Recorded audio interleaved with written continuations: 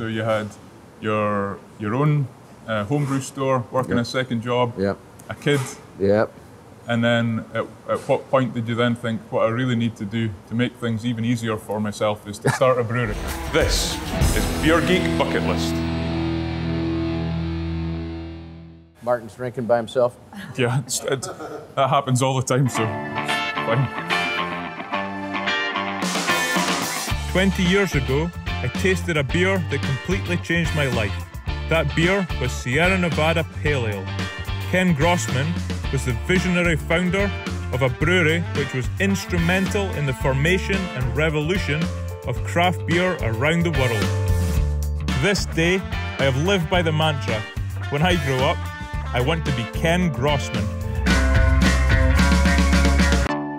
Cheers. Cheers. So, from the age of 13 to 17 in the UK, I drank Tennent's Lager, and I thought that's what beer was. Then, in, when I was 17 years old, there was two beers that changed my life forever. One was Cantillon Rose de Gambrinus, and the other one was Sierra Nevada Pale Ale. And and where were you drinking that? In the UK or over when you'd visit the US? It was in the in the UK. Okay. I'd only ever been to the US uh, once by the time I was 17. And I was 10 the first time I was here. And I think if my parents had allowed me to have a beer when I was 10, I would have, well, they would have been locked up. I would have been fine. it's an absolute privilege to be here today in, uh, in the brewery here in Chico. I would like to start with just understanding a little bit about uh, how you came into beer in the first place. Actually, uh, it was when I was quite young, and, and uh, I, I guess my parents could have been locked up as well if they, uh, if they were aware of what I was doing. But um, so I had a, a neighbor who lived uh, just a few doors down, and his son and I went to elementary school together. And so from a pretty early age, I'd go visit my buddy, and his dad was always doing something uh, with fermentation. So he was a serious home brewer, uh, and back in that era, so that was back in the 60s. Um, you know, home brewing was really not um, something that was very common or popular, and certainly not um, quality focused. Yeah. So the, the home brewers were trying to make maybe a cheap batch of beer, high alcohol, lots of sugar, um, and not necessarily um, were they perfecting the art of brewing. But but this guy, uh, Cal was his name. He was a, a serious amateur brewer and winemaker, uh, distiller. He was into everything fermentation. He even made sake. I remember when I was a kid. And so I was exposed to boiling wort and fermenting beer from a really early age. And I guess uh, just the whole romance of, of the alchemy of, of brewing got into my system. And so when I was a teenager, I started to play around a little bit and brewed a little bit of beer in my closet and then uh, hid it later in a little uh, building I had in back and, and actually started um, brewing around 1969. 1969. Yeah, and um, and back then, you know, the the brewing information came out of the UK, so the the books that I read were. Um, um, you know, British brewing books and about how to make British style beers, and um, then uh, a, a treatise of lager brewing came out by Fred Eckhardt, and I read that, and then started really to expand my my brewing hobby. I moved to Chico in 1972 and took my home brewing kit with me, and uh, within a couple of years, I decided uh, I wanted to be more serious about it. I was studying chemistry in college, so I had a, a science background. Okay. And I opened up a homebrew supply store in 1976, and uh, that allowed me to really perfect my brewing and import a lot of great ingredients. And so I was bringing malts and hops from Europe over and going up to Yakima. I did that my, my very first year of the homebrew shop. Uh, Okay. Made a pilgrimage and bought all the different varieties of American hops I could get.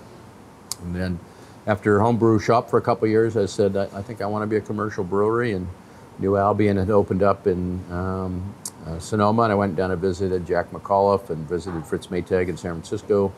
Um, so that was all in the mid 70s. And then put my homebrew shop up for sale, wrote a business plan. 1977, 1978, we incorporated.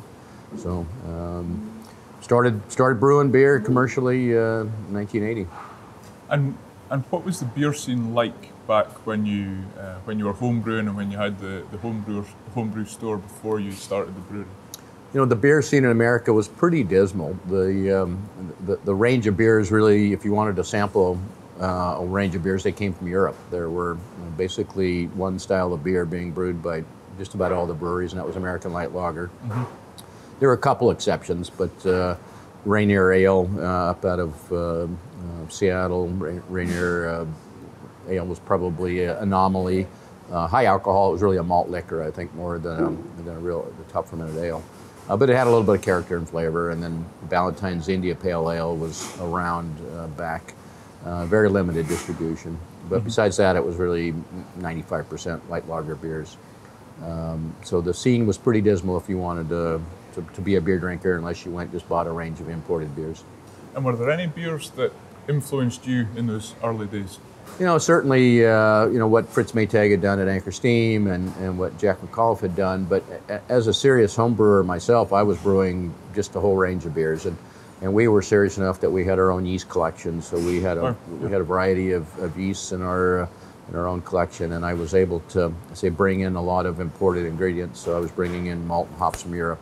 And so I brewed pretty much everything. Um, matter of fact, the, the first batch of beer that we brewed uh, um, when I opened the brewery in 1980 was a stout, and I had been brewing stouts at home for many, many years, and, um, and strong ales and um, IPA styles. Actually, one of our early recipes that we didn't go with, we actually called an IPA, and, and it was uh, uh, ended up being more like our celebration ale, which came out with in '81. Uh, but it was very, very limited, and um, you know, homebrewing was illegal uh, at, at that point in time. Uh, didn't become legal for a few years after that, Al- although nobody was ever arrested for it. Um, after Prohibition, home winemaking got legalized, but for some reason, home brewing sort of uh, was never addressed. Back then, in, in the late 70s, was that a viable business to have a homebrew store in, uh, in Chico? No, um, I, uh, I actually had to work a second job. Um, so my wife and I, I had a, a partner for a little bit when I first opened the shop, was a neighbor of mine, and then he decided it wasn't for him, and so I bought him out, and then my wife and I ran the shop, and I had a second job, so I, I worked in a bicycle repair shop. Um, as a mechanic uh, most of the, the week and uh, to pay the bills. And then my wife was was in the homebrew shop, and then we had a baby, and uh, Okay. my daughter Sierra was born, and so she was actually in a bassinet in the homebrew shop for uh, the first uh, six months of her life as, as we were uh, trying to make ends meet. But no, it was not a viable business. I mean, a, a good day was fifty dollars, and that was retail sales. That wasn't profit. Yeah. So. and how I- old were you at that, at that point? Uh, twenty-two. 22. So you had your your own uh, homebrew store, working Yeah. a second job, Yep. A kid, Yep. and then at, at what point did you then think what I really need to do to make things even easier for myself is to start is to start a brewery? I, I seriously debated do I go with a bike shop where I know I can make a living, or do I open a brewery where I know I'll be challenged and uh, it'll be something that I'm a lot more passionate about? And so I consciously passed on the bike shop and decided to go all in on the brewery, um, hoping that uh, you know it would be uh, something I could make a living at eventually. And, and our, our business plan was quite meager. Um, it called for us uh, being able to brew 2,500 barrels of beer a year uh, in, in a 10 barrel brew house that I built myself. Um, and then, if possible, and if there was a market for it, we could expand to 3,500 barrels a year. Yeah, so you've got a business plan that says you can if you make that much beer, it it, it, It- makes sense. Yep. But that's a business plan and, and not reality. Correct. So so how, how, how did uh, Reality was harsh uh, on the, the business plan, besides the fact that we spent all the money we uh, had raised uh, numerous times and had to go back and go find more people to give us money. We ran out of money repeatedly before we got the doors open. So we, we were struggling even just to make our first batch of beer. Uh, it took a long time to, to build all the equipment. So I welded it, I did all the plumbing myself, I did all the electrical myself, I did the refrigeration. So just getting the doors open was was a challenge, and then as soon as we started making beer, we realized that there's a lot more expenses than we had anticipated, and so we, we pretty quickly decided we, we better expand or we're going to die. And uh, the breweries at that time, there were six of us that opened up between 1978 and 1982. We're the last man standing as far as that original uh, group of six brewers. what does that look like in a in a country which is which is light lager? Mm-hmm. Um, you know what what you were producing definitely you know wasn't light lager. How how, how do you convince uh, someone who's never tasted a beer like that before that that's the way forward?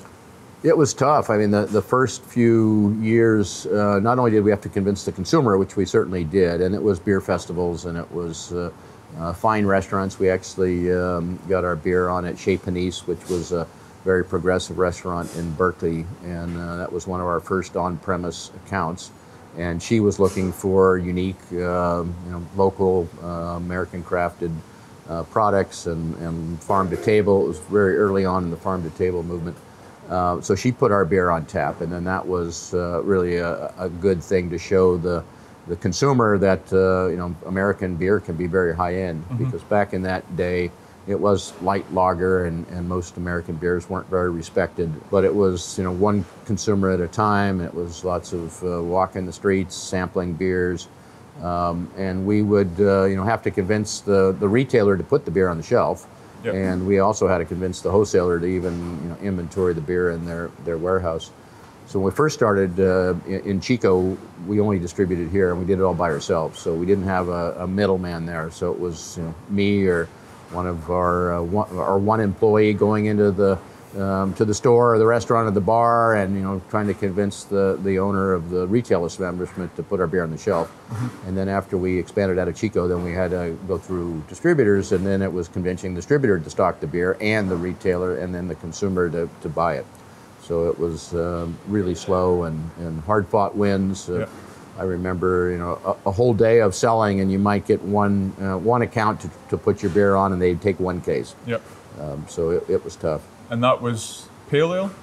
Uh, so we started out with pale ale. Pale ale was our, our flagship and our, our, our first to go to market. Um, we also had a stout and a porter. Um, so back in that era, um, you know, stouts and porters and ales were all very foreign uh, beers for most American beer drinkers. But they were sort of the traditional styles that were brewed turn of the century.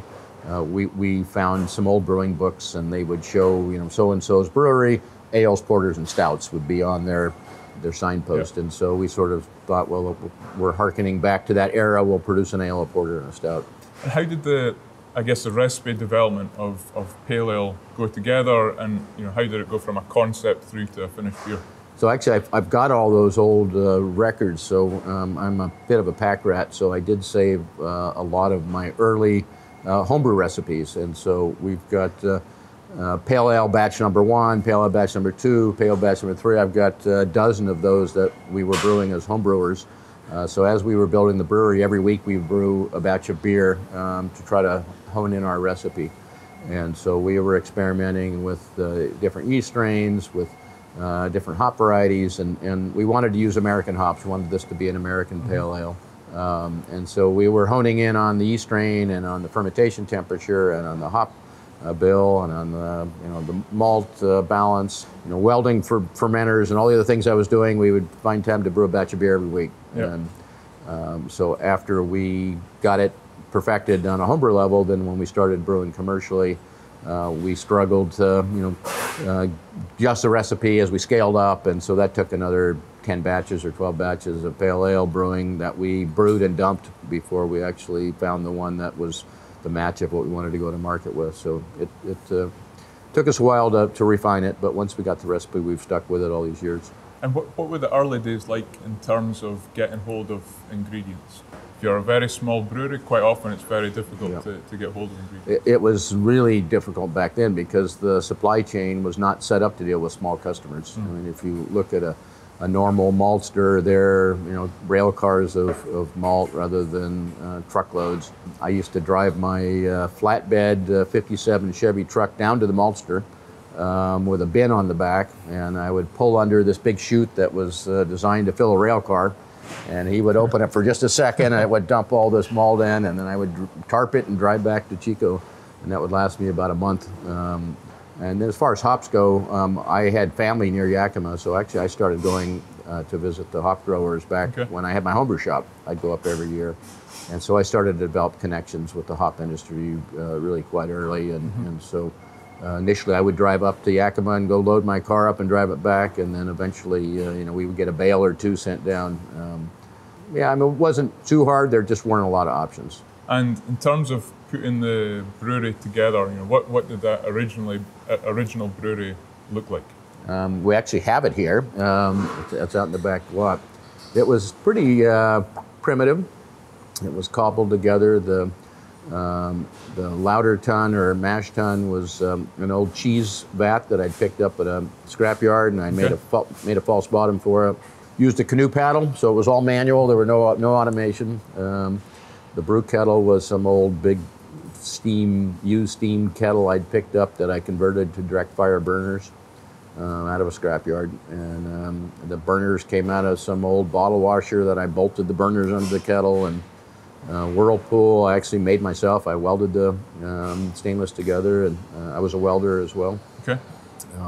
So quite primitive and crude. So you you actually made the I made majority of, of the of the original brewery. Yep, I built the mill from scratch myself. I um, I bought a pipe, uh, big well casing, like eight or ten inch well casing, and welded ends on them, and chucked it up on a lathe, and turned them smooth, and then built welded the whole frame together. And yeah, it was uh, it was a lot of work. And how, how well did it work? You know, the uh, the first mill I built, um, I built a few of them. First mill did not work well. I, I actually built it out of wood, and um, I was sort of following what Jack McAuliffe had done, and the thing shook and rattled so bad that um I ended up scrapping that idea, and then uh, I, I welded one up, and it worked uh, well enough. Um, I actually sold it to another brewer after a couple years, and, and I'm not sure what they're what they're doing with it if they still have it. Uh, it'd be a, a good museum relic now but I ended up uh, after a couple years finding a, a mill uh, that was built, uh, I think, in 1906, and uh, changed my mill out for this one that was uh, heavier duty but certainly primitive. Uh, but my bottling line was an old soda filler it, that I had picked up um, at a, a closed down uh, soda works up in Washington State. And I converted it to fill beer, not very well, um, but it, it got us started. And then when Fritz Maytag at Anchor expanded their brewery, um, they put a, a new bottling line in, and I got their old bottle filler. So that was my first true uh, beer bottle filler, although it still wasn't a great model. It was built, uh, I think, in the late 40s or early 50s. Um, but it, it got us uh, going for a number of years and, and uh, did a decent job filling. Everything in the original brewery was was, was pretty, either either completely redone by you or built from scratch Yep. by you. Yep. What were those first five years like as a as a brewery? I know for for us in, in Scotland, I mean, even like, you said, even selling one case of beer in a day is sometimes a, a huge win. Mm-hmm. Um, so you know, what what did year one through to year five look like? Uh, year one was touch and go, um, really, whether or not we would would make um, you know make it. Um, I, I kept the job at the bike shop, so even though I was brewing every day, uh, and even when I was building, I one day a week I worked at the bike shop just to pay bills because the first year at the brewery we didn't take any salary home Yeah. and I had a, a wife and, and one child at the time, and a, a, another one soon to come, and um, so I had to have some income. So I kept uh, I kept working uh, seven days a week um, in a brewery six, and then a bike shop on the weekends. Um, so that was rough. And then um, you know, as we uh, eventually figured out how to make beer consistently, uh, and we were actually going into market because I said we dumped the first ten batches. So uh, that was a, a real um, challenge that we didn't have any money. Yeah. But we knew we didn't want to sell beer that we couldn't reproduce batch after batch, and And so what was the reason for the first ten batches being? um, just um, not flavor match. Most of it had to do with fermentation. Actually, uh, we couldn't get uh, quick, healthy fermentations uh, batch after batch, and as it turned out, we weren't giving our yeast enough oxygen during the uh, fermentation start, and so we weren't uh, growing enough healthy new yeast cells for the subsequent brews. And so once we figured out we needed more uh, wort aeration uh, for our yeast strain, um, then our fermentation smoothed right out, and the beers were very consistent batch to batch. But Okay. um, it took a couple of months, and um, so we had no money, and we were um, not going to sell beer we weren't happy with. But that was real, real rough, just emotionally. And, and uh, once we finally figured it out, we were off and running. But then it was a slow build. Uh, our first, uh, you know, first year, I think we produced um, 800 barrels or something, um, and then our second year, we started to get some traction, and we started to take home a couple hundred, 200 dollars a month was what our pay went from zero to 200, and at least on that, I could eat and Yeah. pay, pay a little bit of rent, and Have then some uh, diapers for the yeah. for the kids. and then ev- eventually, uh, you know, we were able to um, hire an employee. We had one part-time employee to start, but uh, like packaging day, we would bring in all of our friends and um, you know, it was we give them beer for beer for packaging and um, minimum wage, and um, so it, it was challenging. Year five, by year five, we were starting to uh, realize that we had a real business and that um, you know we needed to figure out how to grow it, just because the you know the, the business plan really was not uh, very realistic, and when we you know just started to realize that you know we needed cash flow in order to Yep. expand and to pay people, and um, you know things cost more than you anticipate, and you know all, all that stuff that goes into running a business that you don't think about. And the brewery is called Sierra Nevada. Is that named after your daughter? No, it's named after the, my daughter, and uh, the brewery is named after the mountain range, which is just right behind us. So um, I was actually uh, uh, quite a bit of an outdoorsman when I was uh, a teenager, and, and actually the neighbor who was the Sears home brewer, he was uh, a, a mountaineer and an instructor, and uh, he led a lot of uh, trips and hikes. And so as kids, we would go up into the Sierra Nevadas with him and backpack and uh, climb mountains, and and uh, so I, I had a love of the Sierras from a, an early age. And then when we moved up to the mountains, uh, up, up to Chico, my wife and I would go in the mountains all the time, and so we both had a love of the Sierra Nevadas and liked the name Sierra. Combining your two big passions, Mm-hmm. outdoors and, and beer. Yep. That's awesome. So you said the stout was the first beer you ever brewed on your system. Yeah, so batch one, we figured let's brew a stout because uh, with all the malts and, and strong flavors, that'll cover up any minor problems we might have. So, um, and we didn't intend to sell it, um, but we brewed. Uh, yeah, batch one was five barrels of stout. And you still make that beer? Uh, we still make that beer. Should we try it? Uh, I think we should. Sounds good.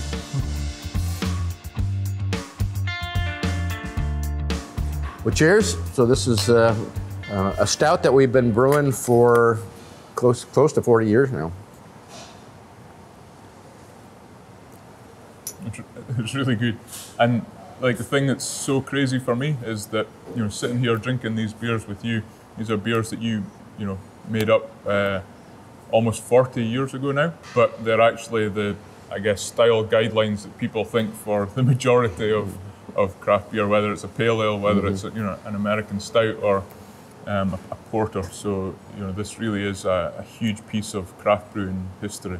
In terms of your recipe development, you know how did you come up with the recipe for the stout? You know the thing that always gets me with with your beer is is the balance and the drinkability of it. So you know whether it's the, the pale ale, which you know it's reasonably high bitterness, and you know in its day it's probably off the charts bitterness of what mid thirties, High- high 30s, yeah. high thirties IBU.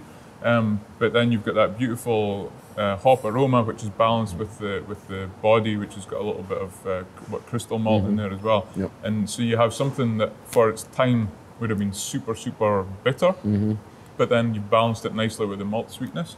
Um, and it's you know the same with, with this stout as well. You know it's, it's a, a, a very nice sort of chocolate there. There's dark fruit, but again it's a beer that you can drink um, well at the moment by the half pint. I'm sure by the pint too. Yeah, I I think that was one of the things that we, we felt strongly about is, you know, as we were formulating recipes, we can be intense, but let's make sure we're in balance. And so our celebration ale, which we produced, um, it was a very early IPA, so that was in 1981. Uh, I remember producing about 90 cases of it, and I personally picked out the, you know, all the hops, and it was one lot that I thought was really unique uh, aroma-wise, and they were, it was a baby field of Cascades. Okay. But I remember them being, you know, so it was sort of small cones, but I remember them being just intensely aromatic, and I was like, okay, these are going in our, our dry hopped uh, celebration ale. Um, and again, very hoppy, very aromatic, um, but a good malt backbone to balance it. So it wasn't considered extreme, uh, but I think it was considered strong and, and but well balanced. And as the craft beer, in did you call it the craft beer industry back then, or No, craft beer? Or what, what, what did you? No, craft beer wasn't a term. So uh, we got coined micro, um, so microbrewery pretty early on. And I remember Fritz Maytag not liking being called a microbrewer because he uh, connected it with microcomputers. And, and back then, that's what computers were, were called. So as uh, you know, Apple and, and the other computers were being developed, they were micro, and rather than the, you know the big, huge room full of of IBM computers that was the norm, Yep. and um, so he didn't like the connection to the to the micro computer industry, and so uh, I don't know if, if he helped push the the craft, but uh, I think uh, as things evolved, um, you know, we were referred to as craft brewers. When did you move to what is now the, the place that we're sitting? so, you know, a little bit of a, a, history. So, in in um, the early '80s with the old brewery, I think 80, end of '82, um, we started to realize that our primitive little 10 barrel brew house maybe wasn't going to be what we needed long term. And we got some publicity. I think it was uh, beginning of '83. Uh, in the San Francisco Chronicle, there was a big article written up, um, uh, excuse me, San, San Francisco Examiner, a big article written up about us. And um, right about the same time, there was a, a beer buyer for one of the large grocery store chains whose daughter went to Chico State. And so he would come visit his daughter, he'd stop by the brewery, and he'd drink beer with us. And he thought, this is so cool, this little teeny brewery making these great beers. And so he started to advertise uh, in the uh, weekly um, grocery store circular uh, Sierra Nevada Pale Ale. And we had nothing to do with it. We didn't even know the ads were coming out. And there'd be an ad for Pale Ale, and uh, all of a sudden, you know, orders would spike, and we couldn't make enough. And so that started happening um, pretty early on in the 80s. So I went to Germany um, in 83 and bought this brew house right behind us. In And- 83? Yep. So just, just three years after you started? Yep. Wow. Uh, and we mortgaged everything. We didn't, we didn't, didn't have the money, but we, you know, figured uh, we bought that for about um, twenty thousand pounds, uh, fifteen dollars. We bought the copper brew house, and uh, so cheap enough. But by the time we you know, took it out of the building and created it and shipped it, we, we had a bit more in, into it than that. So we got it to Chico, yeah, in, in um I think sometime in '83, and um, wrote a new business plan and tried to borrow money. And no one will loan us a penny. And we went to you know banks and friends and everybody was like yeah it's pretty risky. I mean you guys yeah you're you're growing but you're not making any money. You're not really any real money and you want to borrow a million dollars that's what we figured it would take Million to dollars, yeah wow. figured what it would take to build a whole new brewery Yep. and um, so the equipment ended up sitting in crates for years. And so it sat there until 87, 88 when we installed and started building here and, and finally installed and commissioned it. So um, we uh, just needed to make more, more and more beer out of that little brew house. So Yeah. I expanded the 10 barrels, uh, added some capacity to the kettle so I could get up to 15, 16 barrel batches. Uh, we started brewing around the clock. We started, um, you know, taking over some other little metal buildings in our in our little uh, complex. Um, got a new warehouse, added a couple employees, and we eventually made about 12,000 barrels at the uh, at that original brewery. And I designed it for a maximum of really 3,500. Wow. So we were just running around the clock. And finally, we were able to convince people to loan us money. So I got a, a small business loan, and then I talked to somebody else into loaning us the money to start the construction here. Um, and so that, that was really in '88 we moved here. 88. Yeah. And so during that time of, of running the brewery flat out and trying to build a new brewery at the same time, what, what was your involvement in? Is that everything or brewing or, or where did you sit at that point? So, so uh, actually, the building right across the street where we're sitting, uh, I rented while we were starting to build here, and I started moving all the equipment over there and building. And again, we had to build quite a bit of stuff. So we built all the bottling line conveyors ourselves. We had to rebuild all this this copper equipment. Uh, you know, been in storage for years. and Yeah.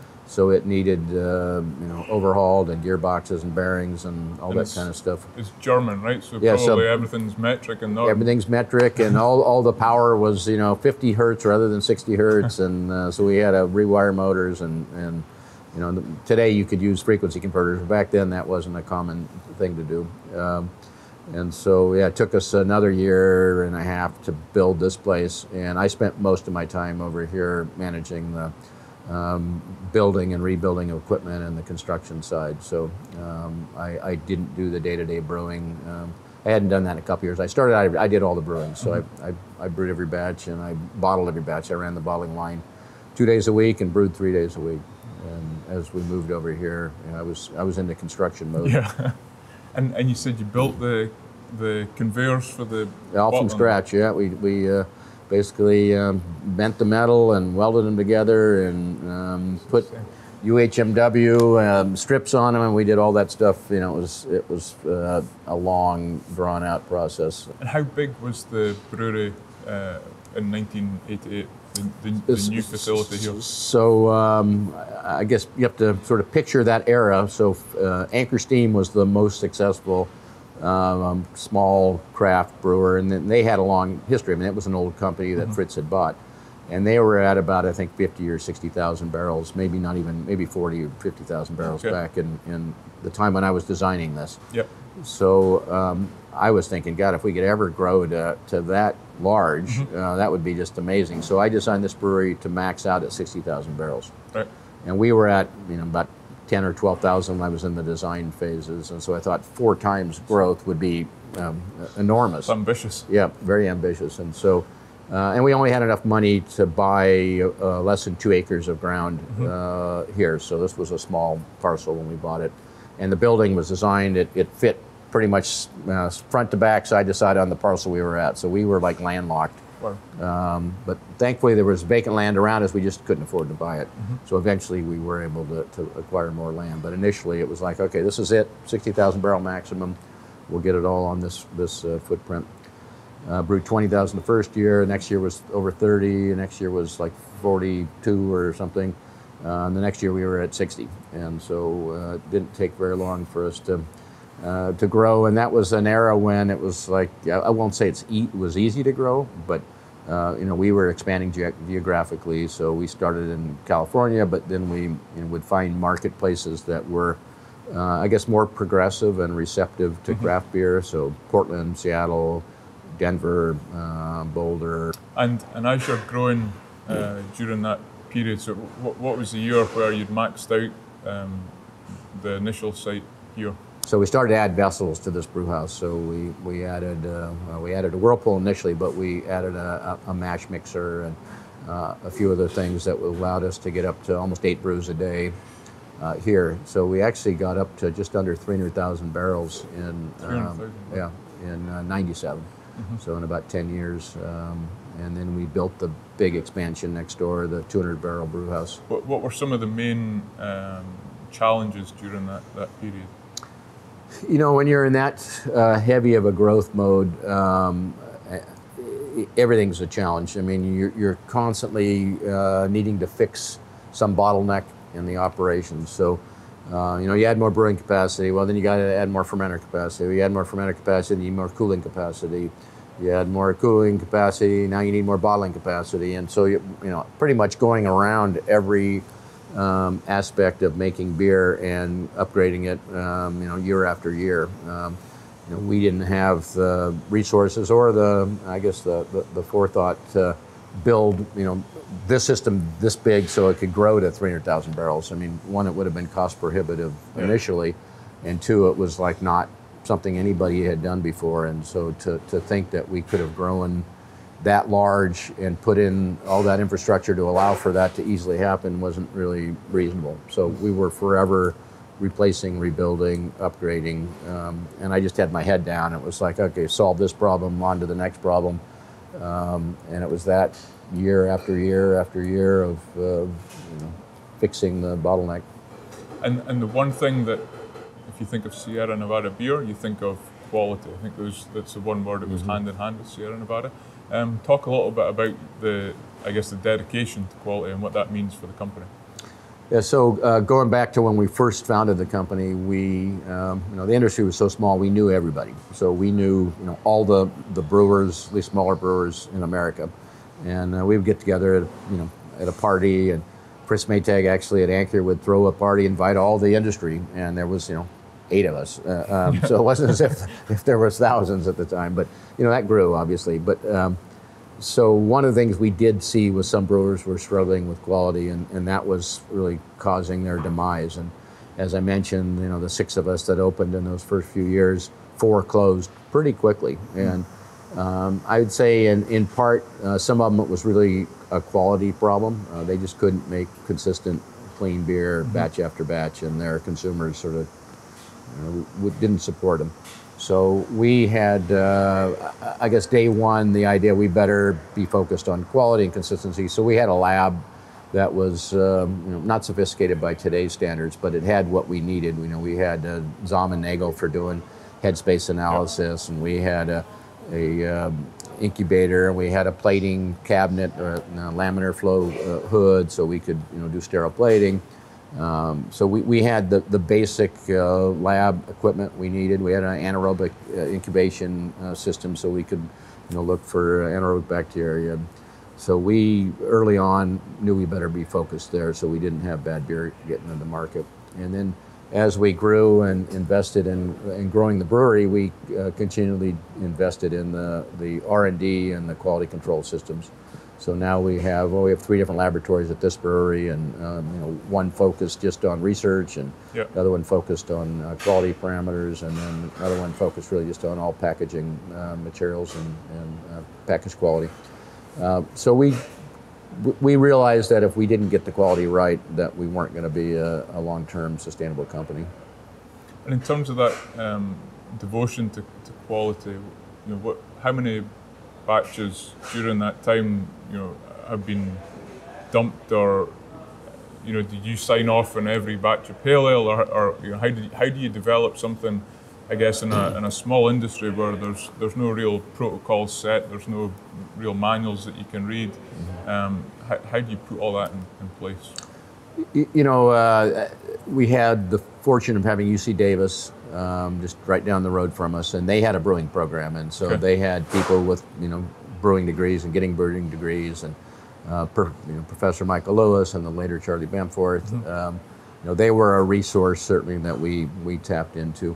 Um, but we read everything you could get your hands on uh, in in the industry, and there were a lot of quality focused uh, publications back in, in that era. Um, I mean, many of those groups are, are gone now, but there was Wallerstein Laboratories who published communications, uh, Siebel, uh, you know, taught courses, published communications. Um, and so we, you know, read everything we could about beer and beer quality and, and quality control and, uh, you know, what, what you need to do to ensure, you know, from start to finish that you you've paid attention to all the things that, uh, you know, all the details that make a difference. And so we created our own quality manuals, and then we had super high standards. And so we dumped, and we've dumped plenty of beer that we didn't think, for whatever reason, uh, met our specifications. And um, know, we would rather, um, I- guess, take the pain up front rather than have it be a, a long-term drag on the, you know, on the brand and the company to have people saying, "Oh God, did you, you know, I had a bad Sierra Nevada." So we do our darndest to, you know, try to stay on top of quality the whole time. Bigfoot, one of those classic beers. Tell us a little bit about it. So um, you know, we, we did make some pilgrimages to Europe and uh, actually drank um, uh, some barley wines uh, in the UK uh, when they were still, um, I guess, maybe more widely available. And it was, uh, I guess, generally referred to as what the uh, older ladies would, would sip uh, after dinner um, would be a barley wine. Um, so we were exposed to them, and, and uh, then Fritz uh, actually had, had brewed Old Foghorn, so Yep. we um, we had tasted that beer. And uh, again, as homebrewers, we brewed everything, and as a homebrew shop owner, um, people would bring in everything. So I got to sample you know all these different beers that were you know, recreations of, of styles, and so we started working on a barley wine pretty early on, and. Um, came out with this beer. We didn't know what to call it, and one of my buddies uh, um, talked about, you know, it's a big badass beer. Um, It's a, it's like a Bigfoot. Um, Bigfoot got its name, and we've been producing it every year ever since. And does the Bigfoot live in the Sierra Nevada mountains? Um, there's actually one of them in the picture up here, but yes, uh, he is up in the mountains. Um, they, they do hang out. You can occasionally see him if you had enough to drink. Yeah. Again, this is a you know a big punchy beer, high in alcohol, but it's that perfect balance of the alcohol sweetness and the bitterness from the hops as well. So it's beautiful. Tell us a little bit about exactly where the company is today in 2019. So we built a second brewery in North Carolina a few years back, and, and so we've got um, you know two coast production. Um, we're uh, you know we're looking at uh, you know how we uh, make sure we stay relevant with the consumer today, and so we're doing you know a lot of different styles of beers, and we're experimenting with things that are on the fringes of beer. Um, we've done, you know, lactic fermentations, and we've got a, a barrel program. We've got, you know, I guess, everything you would want as a brewer to be able to play with. We've tried to incorporate because you know part of brewing is ha- having fun, being creative, um, you know, enjoying your craft, and and so you know to to be able to sort of explore that wide range of what beer has been and what beer can be um, is really what we're focused on. So we're we're always innovating. We have a team that does nothing but uh, innovates around um, you know raw materials, around new styles. Um, so we're, we're having fun. We've got a a, a yeast uh, a geneticist here, so we're you know playing with lots of different yeast strains. Um, we've got a nano brewery, a half barrel brew house, so we have a very small research brewery, and then we've got a, a 10 barrel brewery that we do you know, sort of scale up research beers on. And then we've got a 20 barrel brewery in North Carolina where they're always brewing something unique and, and novel. You know, for us, uh, you know, we're always going to try to support our flagship pale ale because it was was and is such an iconic brand for for craft beer. Um, but we also have to be aware that you know people are, are pretty experimental in their tastes and wants, and, and so we just need to um, focus on, on how we keep delighting uh, people who want to drink beer. And, and one of the, the well, things I remember um, in, in our early days of brewing was in 2007 when we really struggled to get hold of, of any hops.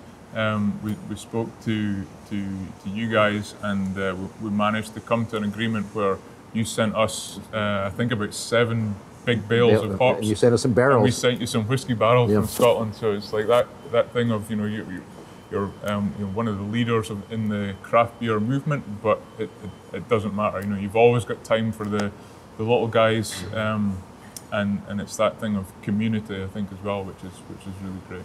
Well, that's what's made this, I think, such a um, well a fun industry, but also an industry I think that aligns with what a lot of uh, consumers, you know, want to see from uh, the people who make you know, their products. Is that you know it's a it's a community that there's uh, cooperation rather than there's infighting, and and um, you, know, you don't want to have uh, you don't want to think uh, that you know who you buy your um, whether it's produce or, or whatever from is is a, uh mean um, um, industry uh, you know cutthroat kind of thing. You'd rather have I think um, you know more like you know rock bands getting along and doing collaborations and playing together and people sitting in and, and um, jamming together. That's I, I think part of what makes craft beer what it is today is that you know, there is that kind of get together and have fun. It's a, a, fun product that adds joy to a lot of people's lives, and um, you know, getting together and having fun doing it is important too. You've done a lot giving back to the beer community with with beer camp. Um, and then also to the wider community, you know, the Resilience IPA at the, the back end of last year when there was the horrible fires. Um, I remember seeing the, the picture of the brewery and then in the Yeah, background. fire right, right next. Yeah, right. yeah, the whole right. sky was lit up with flames. It was terrible. Yeah, that Um, was a very tragic situation for um, for our community, and uh, you know the brewery was pretty impacted. We had over 50 employees who've lost their homes. Um, it was like 14% of our Chico workforce lost their homes. So, um, you know, it was nothing that that um, you know, I guess could have been predicted. But when it happened, it was uh, you know really really hard on a lot of people, and so we we tried to do what we could as uh, being a big community um, member and part of this community. So we opened our doors to anybody who had lost their home to come here and get free meals. We open our gift stores so people get clothing. And that, and that happened at the same time that you were taking the original brewery back to Yeah. Chico, right? Yep. Yeah, so we got my original cobbled together brew house back um, from the folks at Mad River Brewing over uh, in Arcata or over in, in uh, Blue Lake actually, but over on the coast. And uh, we went over, and did a road trip, picked all the equipment up, and uh, rebuilt it. And we were going to brew.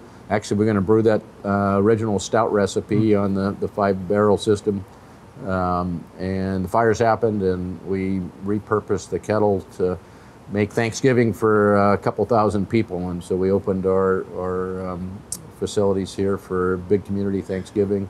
And I boiled, I don't know, almost 2,000 pounds of potatoes in the kettle instead of making beer that day. It's phenomenal. Um, yeah, Incredible. Cheers to that. So, Ken, thank you for allowing me to understand a little bit more about the story. It's been a phenomenal success over the last almost 40 years. Um, and it's definitely you know, one of the reasons that I got into brewing in the first place. So thank you so much, and good luck in the next 40 years too. Well, thank you. Cheers. Cheers. Uh, great having you in Chico, and look forward um, to seeing you in North Carolina or out at your brewery as well. I, I plan on coming and visiting you. Awesome. Thank you. Thank you.